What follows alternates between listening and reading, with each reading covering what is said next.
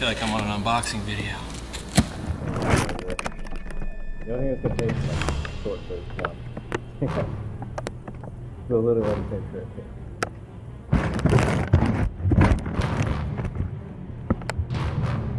Stickers.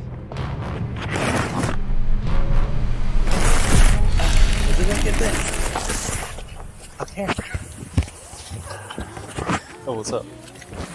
Okay. So these are uh, GTX 2 front control arms for a 240Z that they have modified the ball joint pitch an- angle for me. So they should work better with S14 knuckles, which is what I have on my card. I have them flipped around, but I'll explain that in a minute. But let's actually cut these boys open. So what is going on for that? Let's go talk about these. Okay. install these arms. And then we can, uh, I'll do another alignment. Dang, these tension control.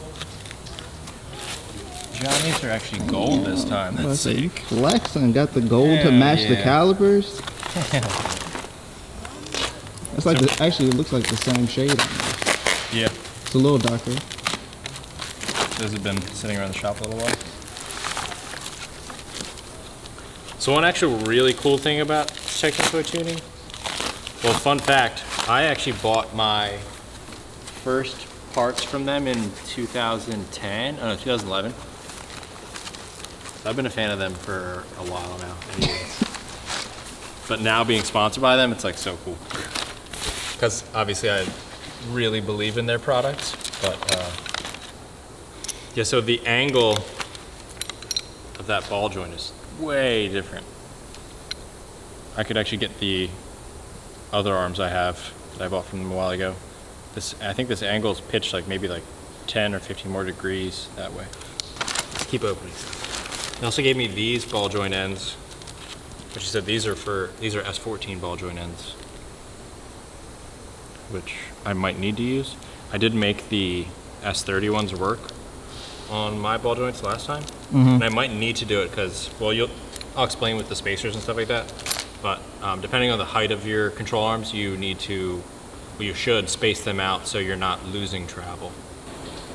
Um, So why don't we uh, transfer over to the 240? yeah, let's get over there. You over here fanboying. Time to modify. All right, so these are the GTX 2 lower control arms from Technotoy Tuning. Um, it's a lower control arm and a tension control rod, arm, whatever you want to call it. And this basically is your only control arm on a McPherson style uh, suspension. So it comes with the lower control arm, the tension control rod, and a sway bar end link, and then it has like a couple little washers zip tied to the end here, just to space it out in the subframe. Oh, okay. So two will go on one side and two will go on the other side. But like we were saying, all of these ends have like roller balls in them. So none of these joints actually have any poly in them except for this link right here. So all of these, this will be a very stiff and very, uh, I don't know what the word for it is. Robust. Well, yeah, yeah. It's, look, you can look at these arms and know that's a huge, huge rod end. so it's probably overkill, but that's what you want with your suspension. You don't want it flying off on you. Yeah, that is very But true. um, but yeah, so this will having all of these bearings in here instead of poly bushings will definitely make everything. You'll have better road feel, and it'll be a little uh, more like precise with your Okay. turning and stuff like that.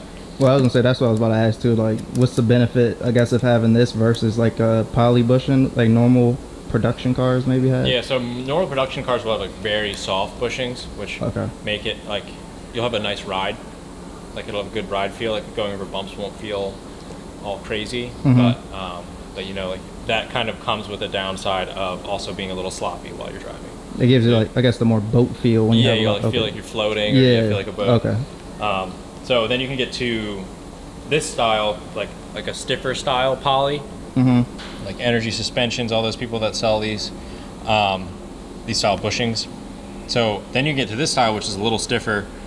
Then you can get all the way to these boys, which are also on top of being stiffer and more precise. They're not going to wear out as fast as these. Like Yeah. I will probably need to never change these out the life I have this car. Okay. But these bushings will eventually go bad. And it kind of, it's funny, the softer the bushing, the faster it seems to go bad. But um, yeah, so this is essentially what you're going to get if you get any GTX2 control arm. They sell them for a bunch of different vehicles and they look pretty much the same. Um, but this this end right here is for an S14 and it's got a slightly different pitch. So you, if you had both of the sets of these that I have next to each other, you probably wouldn't notice unless you actually were like side by side comparing them, and trying to figure out the distance. I mean the angle of that ball joint cup. So this is an S14 end that they put onto an S30 arm, and then they also extended another 25 millimeters for me because I was telling Kevin there that uh, I need a little bit more track.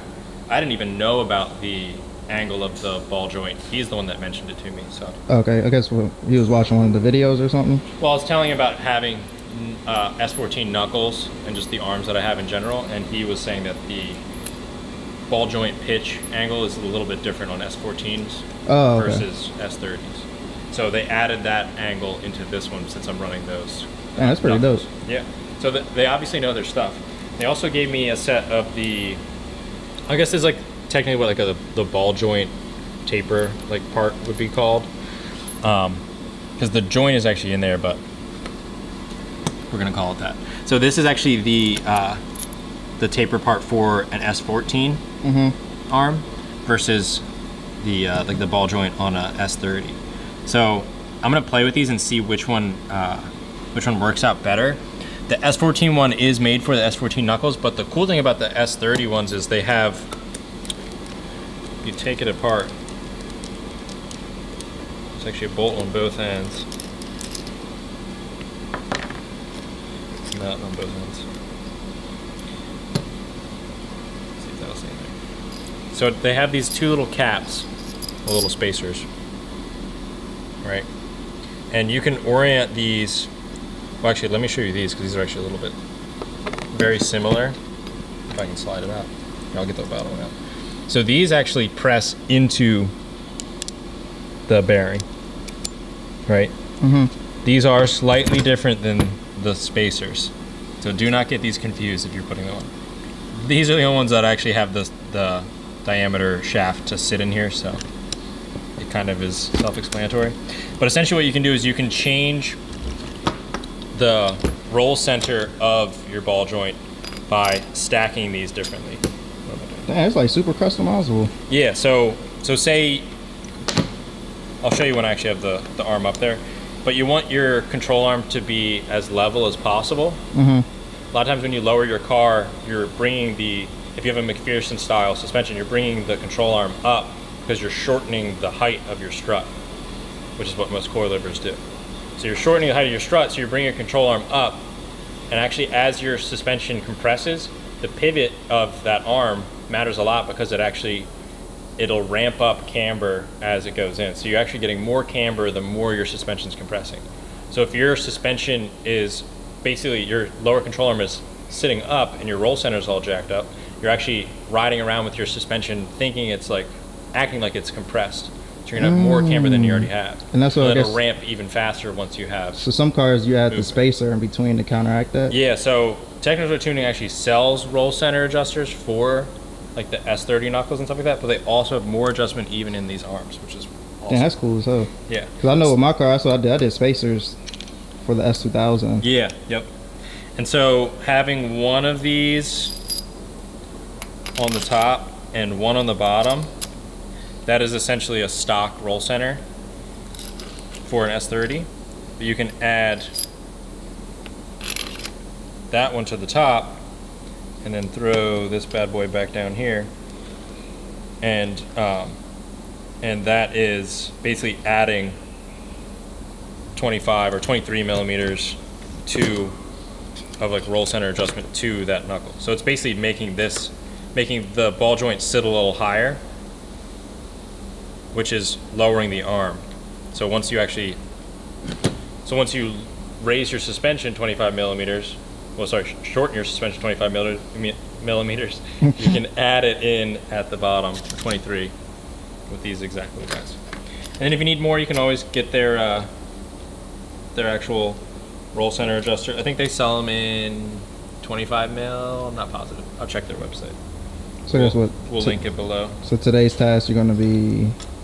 So yeah, so today, yeah, the whole point of today, other than just talking about arms, is to actually install them. Uh, so the actual point of today is installing these bad boys. That's what we're gonna do. If y'all didn't know already. So I'm just gonna take these mounts off of the uh, TC rods and then mount these pieces first because it's a lot easier to uh, it's a lot easier to get all this together when, if this is already bolted to the car. And these actually have a little lip on them. You can see that guy right there. Yeah. There's a lip on both sides. And they powder coat all this stuff, so it's not going to be rusting on you. Everything else on your Z car is going to be rusted, but not yours. um, so these just press right into these little pockets. Okay, so the little edge, the the lip on there goes in, facing in. If that'll stay, I should put it through. Okay. And then the other one faces back towards it. Pressure washer, bolt. And I will fully tighten that. Torque the spec. Why I have this car at this height, I don't know. So you want to make sure your arms are as even as they can be. Or you want to make sure that like one side's not clocked out, the other side's um, not clocked out either. So with these all the way in, this is the shortest adjustment this can get to. And it has flat spots on the actual bar in the center. So you can adjust this on the car. These two just tighten up against the center bar and that keeps it in place. So um, more of the uh, bearing spacers. All right, let's see if I can sandwich all this together in one hand. All right.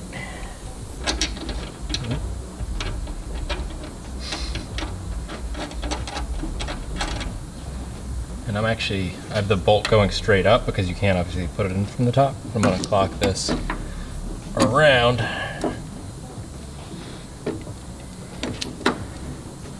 Cool. Um, so the bolt is facing down. So in case something happens, these are all nylon lock nuts, so they shouldn't come undone, but even if it does, the bolt will stay in there because of uh, gravity. You smart. Okay, so I'm leaving everything hand tight for now, just because uh, it's going to be a lot easier to get it all set up and then tighten it. Um, and I have the tension control rod on the farthest point because I already know since I had a set of these arms on there before, I had them all the way clocked out, so I'm having this in the farthest in position. Um, so now I got to throw the bolt through the subframe. This is the stock bolt. To how gross and not pretty it is compared to all this other stuff. Um, throw the two washers in. It's probably one of the trickier parts of the whole thing, but still not bad. I'm also going to clock my uh, tie rods in a little bit, make it easier. These are also Techno Toy Tuning tie rods. You T3'd out. I know. I hope you guys can tell that I'm hype about this stuff because uh, I've just had it for so long, and they're just a cool company because they they don't work on like the most like the biggest moneymaker cars or like the most popular tuner cars. They work on like the stuff that they like, which shows that like they're doing this because they like it, not because like it's gonna make them a ton of money Yeah. which is cool because it always shows through to their product. You know what I mean? Like they're putting that cool Technotoy tuning engraved thing on those arms because they think it looks badass, and it does. But like If it was a bunch of dudes in like a chair room, they'd be like, make S13 arms because they're the most popular arms and we can make them cheaper in China and we're not going to put all those engraving up because that costs too much money and uh, we're done. No. They're literally the opposite of that. Didn't really need to take my tie rods off, so Did extra work. yeah. Just realized, but now, eh, I'll leave them off right now. Might make it easier to get the arm in. Um, so I'm actually going to start with the S14 ball joint in. Um, and just see where that lands me. If for some reason the control arm, it looks like the control arm is going to be pretty much parallel. So if your control arm is sitting up, if I can get my knuckle out of the way. If your control arm is sitting up like this, that's a little exaggerated, but you know, some people, camber gang. Um, if your control arm is sitting up like this, you're gonna have one restricted movement, but you also get something that's called bump steer, which your car's like auto steering itself, and it feels crazy to try and drive over anything that's not perfectly smooth. Um, and what we were talking about earlier with uh, adding like the roll center spacers, Mm-hmm. um, which the S14 uh, ball joint ends don't have, um, will actually lower lower where your arm actually bolts into it. So it'll make the top mounting point of the ball joint a little taller. So if you raise your suspension really high, you can lower this back down. It'll keep your suspension at the same height because the knuckle's in the same spot, but your control arm will then be at the, the correct position. Looks pretty damn parallel to me. So these are GK Tech knuckles, um, and they are very annoying actually. Uh, they're nice knuckles, and they uh, they do exactly what I need. But if you look inside here, this channel, you you have to like fish a socket down there, and then fish a little extension, then get a. Oh damn. It's really annoying. uh, yeah. But the nice thing about these is uh, the pitch of the ball joint, where it actually bolts into the knuckle on a stock S14 is actually slightly offset, and on these it's actually direct center. So since it's slightly offset, if I was running the knuckles in the correct way, it wouldn't be an issue. But since I'm running the front left knuckle and the front right, because I'm basically swapping because the tie rod pickup points on S14s are supposed to be behind the lower control arm, and they actually have their tension uh, tension rods running forward. So it's actually flip flopped from S30 suspension. So if I was doing that, then the ball joint would actually be offset to the wrong side a little bit. But these knuckles are actually designed, I think, for drifting. So I think they actually might be a slightly quicker turning radius, which is also okay because S30 racks are a little slow. But that'll actually correct that because it's uh, straight in line with the uh, strut. So that shouldn't be an issue at all. Which I didn't think about until I had already gone the S14 route. So then I got these knuckles. I'm gonna guess Also, they're they not look cheap. cool. Uh, I don't remember how much they were, but probably not. All those people that ask me all the time, how much was how much does the build cost? I don't know. He deletes that out the memory. It's not. it's not the reason I do this. I'm not like trying to sell it and make a bunch of money. So I, So we call your brain with prices RAM because it's random access memory like in a computer. And actually, the tie rods have a very similar setup where you can stack these boys and make sure that your tie rod is running parallel as well. Damn. So, boom, dang. It's like this was made for. Oh, wait, I gotta throw this guy down here. I ran my own little spacers in here. Can't get any easier than this. Yeah.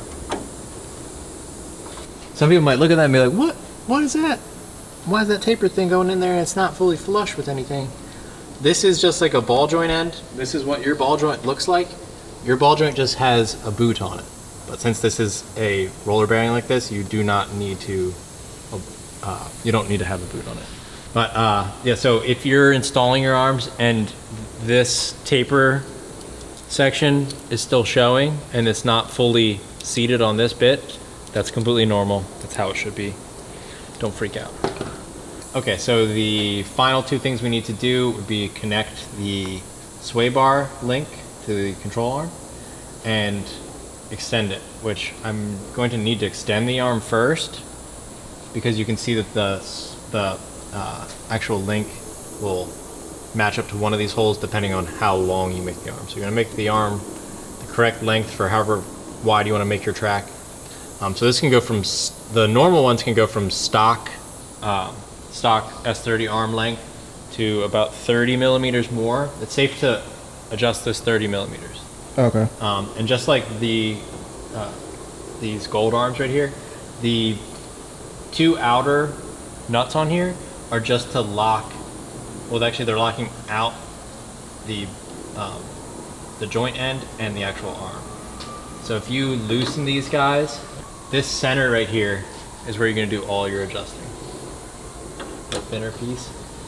So as you adjust it, you'll see the arm actually gets longer. If I can do these adjustments. So I have the track kind of where I want it, um, but I will leave it loose for final adjustments on the actual alignment machine. So the last thing we're gonna do is get the sway bar end links on. That's what it's called.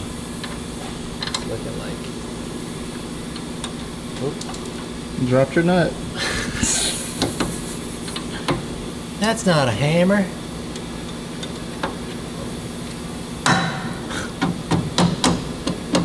There we go. Little tip tap. Quality. Hammer. And uh, yeah, that's installed. That was really easy.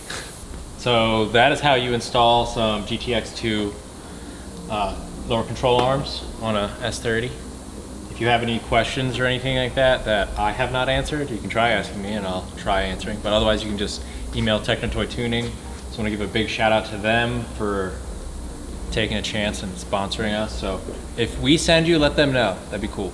Yeah. I mean, And I don't get anything, but the coolest thing about this too is if he's putting it on his car, nine times out of ten, he really trusts the company. Yeah, Like, Yeah, I mean, I got their tie rods. I have their, um, I'm using their top hats, uh, their Weldon mounts. I have their whole rear end kit that converts your rear end to an R200 from an S14 or S13 damn, I as well. forgot about that. Yeah, you knee deep I got, in the game. I got almost everything that they sell. I'm looking at maybe getting their rear. They have a micro rear brake kit. Nah, we'll see. But um, and we also have a whole 280Z street car that we're building over there in the other room. So I'll need to buy all that same stuff over again. So. What, could you technically reuse your other stuff on the? Oh, 280? these arms that were on here, I'm putting on that car for sure. Oh. For sure. Um, yeah, so big shout out to Techno Toy Tuning. You guys are awesome. Thank you so much for making these specifically for my car. And I mean, obviously they know their stuff, so it's a huge help. And uh, thank you to everybody that bought shirts from us. Hell yeah, dude. Super awesome. What? Thank you guys for all the orders. Um, we already shipped out the first like thing of them. Uh, We're just gonna ship out like at least once a week, Mhm. um, just because the post office closes before we film this stuff at 6 p.m. and on. So the post office closes at five around here, so we can only get there a couple days a week. So Yeah. we'll ship out every day, but you know we'll get them out as soon as we can. But thank you for buying the S30 shirt, and then X has got the. Let me rocking that Stylish. Amazing. Classy. Yeah, so thank you guys. Uh, the next video is going to be on uh, the actual dyno tuning on this. This thing is going to be on a dyno machine At So. P Tuning. at P Tuning. Can't wait.